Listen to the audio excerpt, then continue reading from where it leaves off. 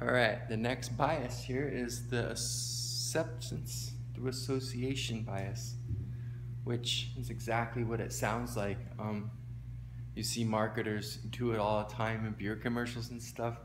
Pretty much everything. They'll always have beautiful women in ads, regardless of what the ad has to do with a beautiful woman.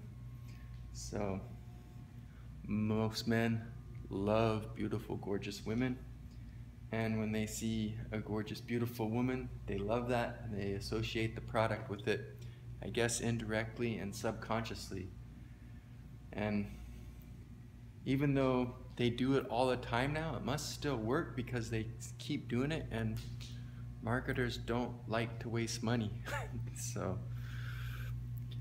and this goes with a lot of things like, um, I mean, they do it with celebrities and sports stars and like if um, you like somebody a lot and such and such is their sister or their brother or their friend or something, you're going to be more willing to open up and accept them and let them in unless they do something to pretty much disprove you. And it's just another one of those biases we have. Like I said, I'm just putting out awareness of what they are, not really explaining them super clearly.